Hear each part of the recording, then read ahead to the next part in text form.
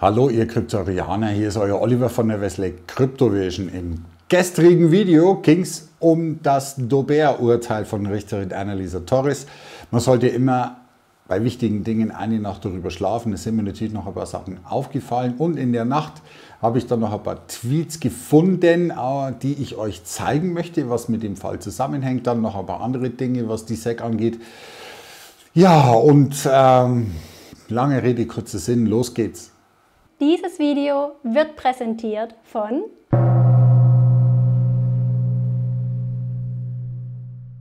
SR, vielen lieben Dank für deine Unterstützung, für deine Donation.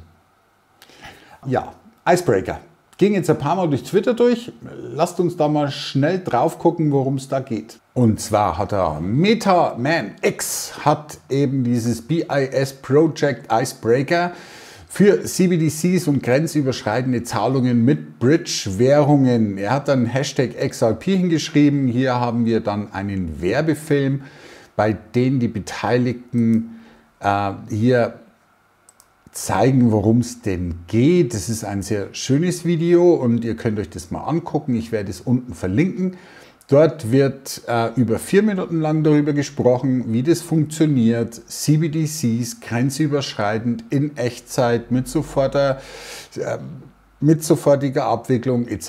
Wie ihr sehen könnt, 4 Minuten 37. Und ganz zum Schluss gucken wir da mal auf die Beteiligten.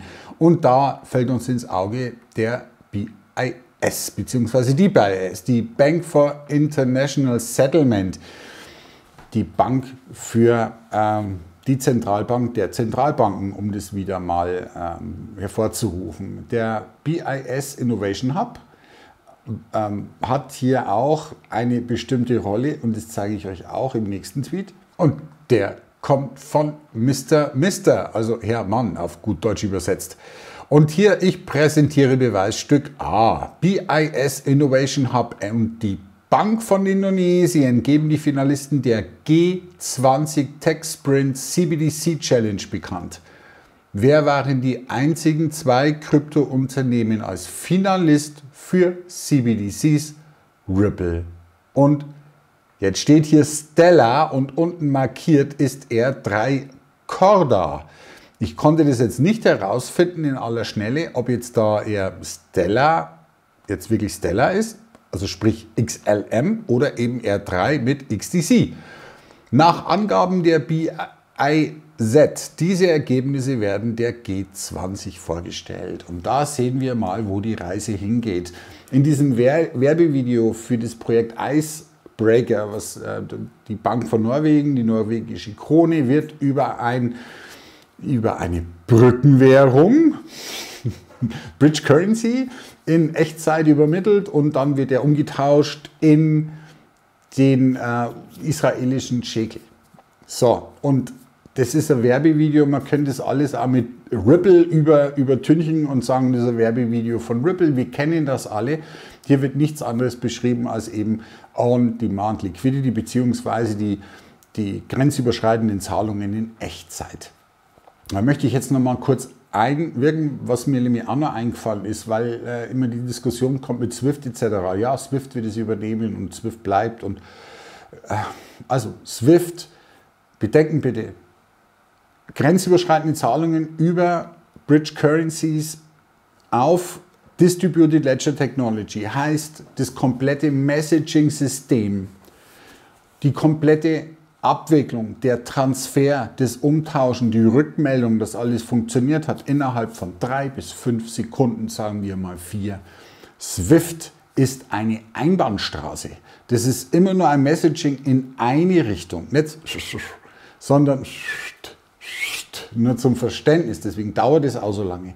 Darum sind die also erpicht drauf, eben mit Chainlink dann eben Interoperabilität unter verschiedenen Distributed Ledger Technologien Technology zu gewährleisten zu können für die Partnerbanken derer 11.000.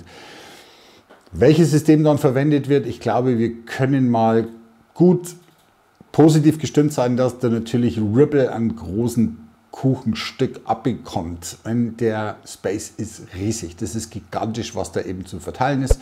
Und wir sind da, denke ich, schon meiner Meinung nach auf einer richtig guten Straße.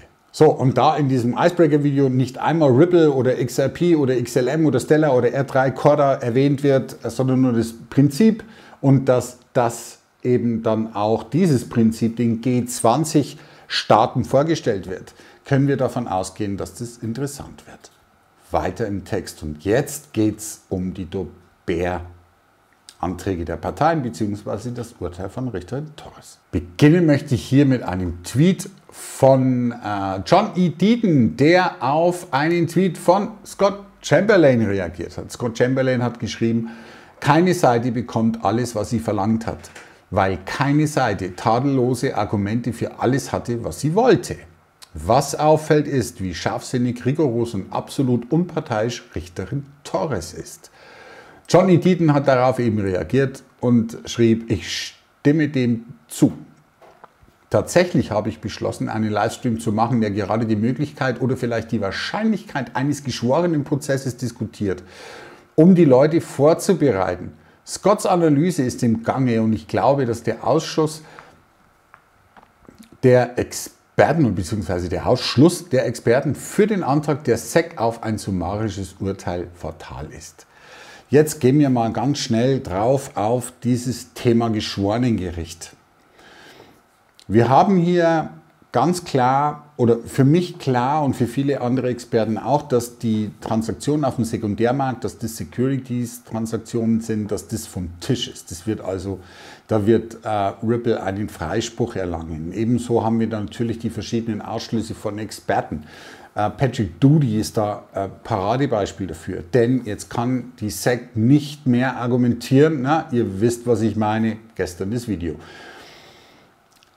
Aber das Geschworenengericht ist natürlich trotzdem noch da, denn Richterin Torres wird hier einige Fragen eben nicht klären können. Und das sind die Verkäufe von XRP vor 2017 oder 2018.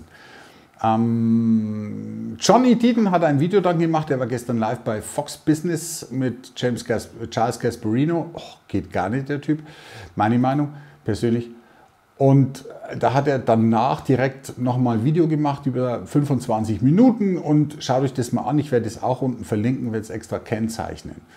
Warum er denkt, dass, es, äh, dass die Wahrscheinlichkeit eben da ist, dass es zu einem verschworenen äh, Gerichtsverfahren kommt. Ist das nun schlimm für uns? Nein.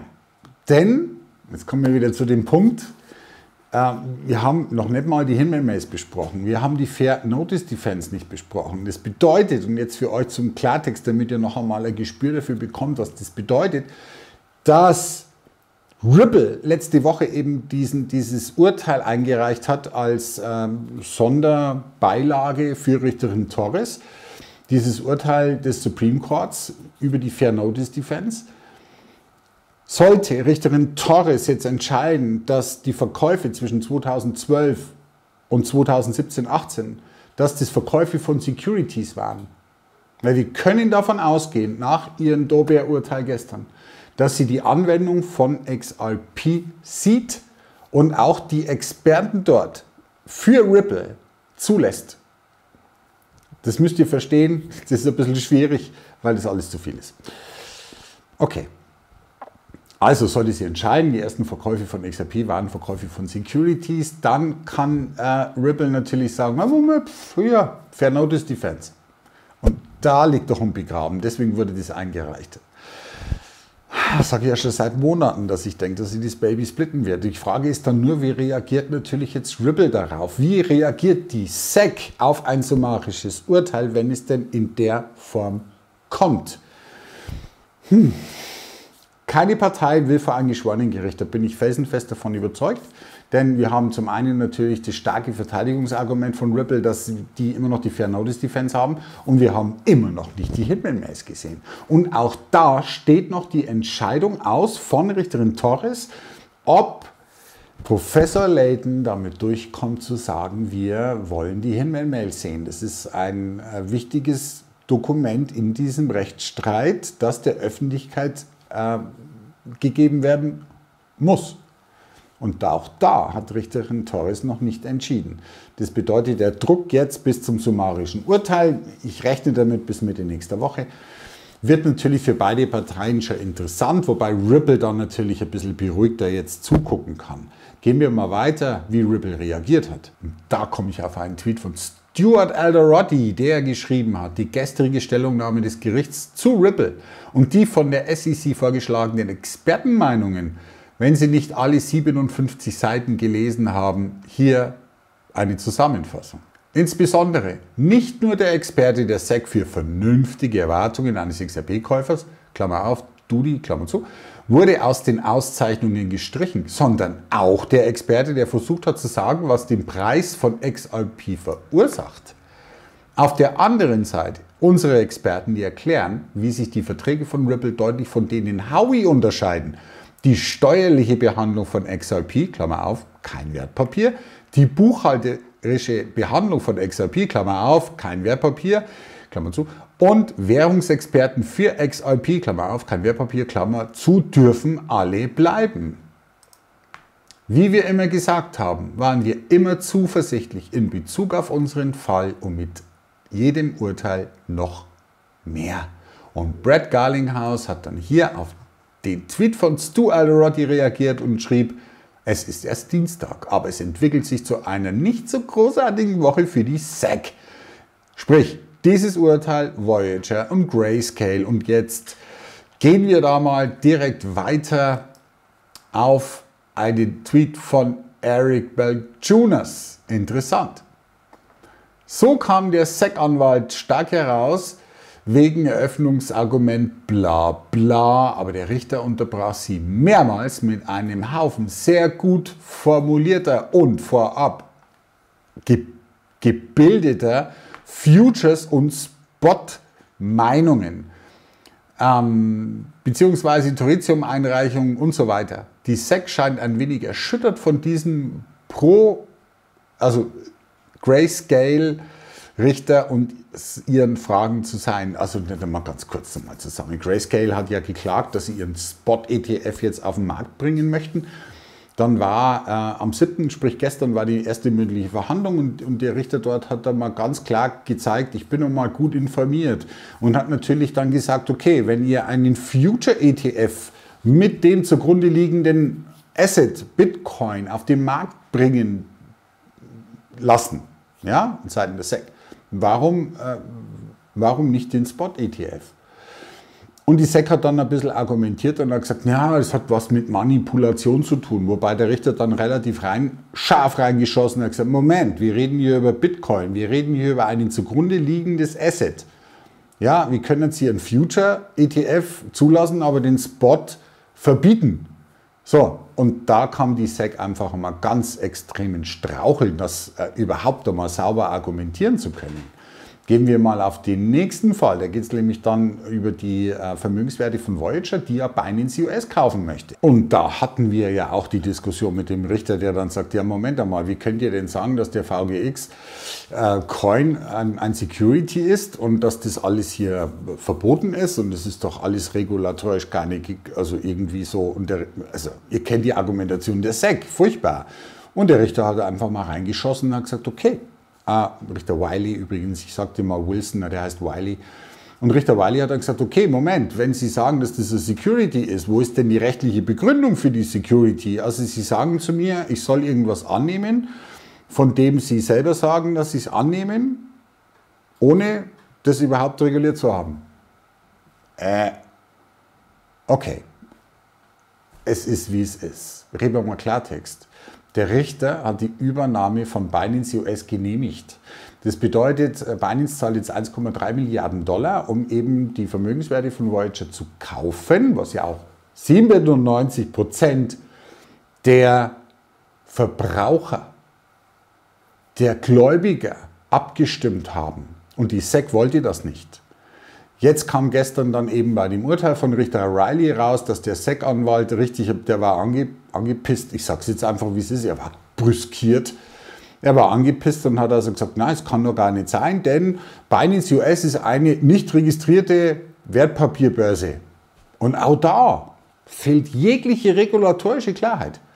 Also wir sehen dass jetzt mit dem Urteil, äh, hat SEC jetzt auch ein bisschen ein Problem, weil langsam stellen wir fest, dass es jetzt ein bisschen Gegenwind kommt.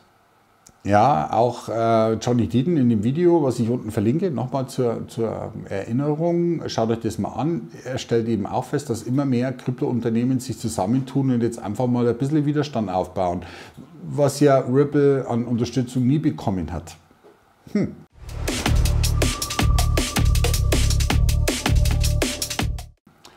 Okay, gehen wir mal zum letzten Fall und das ist ja wirklich der Brüller, was hier die SEC tut und zwar diesen hier. Die SEC beschuldigt eine Firma aus Utah des betrügerischen 18 Millionen Dollar Krypto-Mining-Programms. Also hier sehen wir, wie die SEC argumentiert und arbeitet. Auf der einen Seite FTX, die Milliarden von Dollar verbrannt haben. Äh, da wurde kein Verbraucher geschützt. Die ähm, haben sich eher noch getroffen mit Gary Gensler, ohne dass da was unternommen worden ist. Auf der anderen Seite wird eine, ein, ein Betrugsfall, der offen Betrug ist, wird dann so deklariert, das ist, äh, Krypto ist gegen das Wertpapiergesetz. Hier versucht Gary Gensler einfach seine, seine Agenda fortzuführen, um hier der große Sheriff im Space zu sein. So, und jetzt kommen wir mal wieder zurück zu unserem Fall, SEC versus Ripple.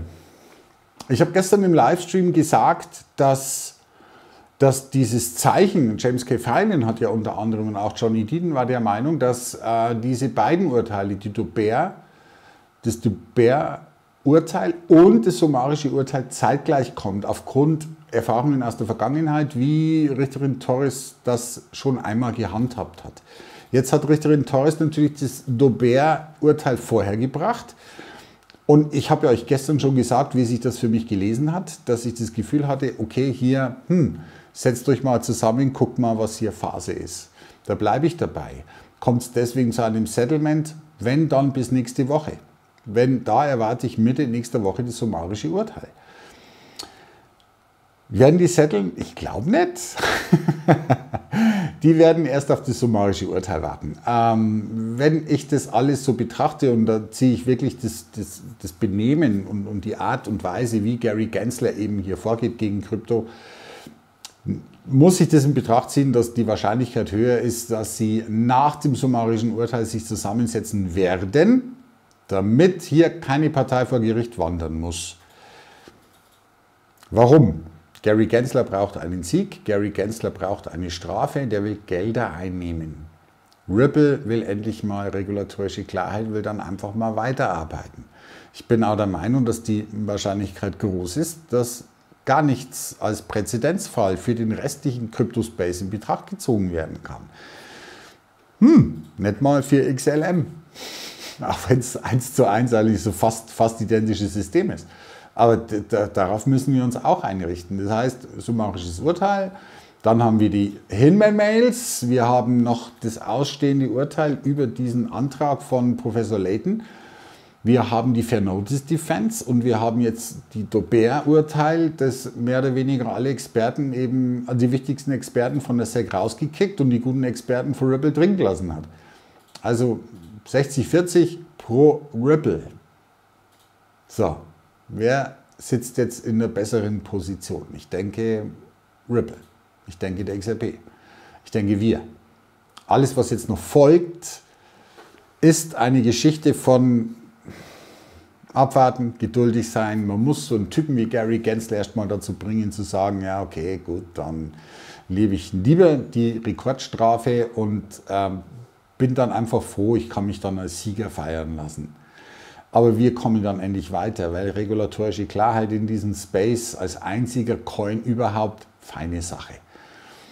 Und so komme ich zum Abschluss noch äh, zu einem Tweet von Digital Asset Investor, der das alles nochmal bestätigt und könnt ihr nochmal durchlesen.